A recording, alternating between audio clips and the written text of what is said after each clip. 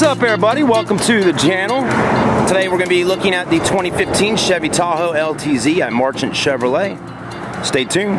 If I see any major dents, stings, or scratches, I'll point them out to you. This is my classic walk around condition report.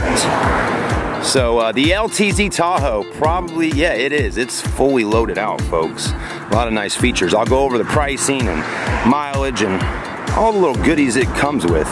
Black's a nice color, I tell you. Looking good with the chrome and the gold. Had a little rain last night, so got a little dust on the car from all that rain. Do got Continental tires on here, plenty of tread on those tires. My goodness. 20 inch wheels, am I right on that one? I believe so. Let's take a look. Yeah, no 22s, wow. 285 45 series tires with 22 inch wheels. Man, that's a good looking set of wheels on there. Chrome mirrors, tinted windows, you got the running boards down the side. LTZ badge on her. Again, you're driving the LTZ, folks, you are rocking and rolling. Rear end's looking good. There's a Suburban LTZ right there. We got two beautiful blacked out vehicles here. That's gorgeous. Let's take a look at this. It does got remote start, but we're not going to crank it up right at this moment. Let's open up this rear power tailgate, see what kind of space we got. Also has backup camera, backup sensors, all the backup stuff you need for backing up. And then you also have your third row seats. Oh, just dropped the key on the ground, huh, Chad? Being all fancy with your wording. All right, third row seats. Not a ton of storage space though with the third row up, so you're gonna wanna fold those down, okay? And let me show you something real quick. When you fold them down, whenever they decide to fold down, or maybe they don't want to fold down. Oh, here we go.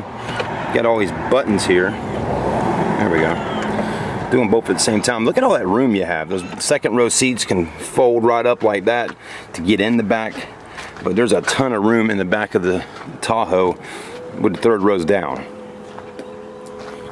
But hey, if you got some carpooling to do, just tell the kids to throw the book bags on the floor and let's get on the road and go. All right, this one's got 72,575 miles on it. Did you hear me? 72,575 on the mileage.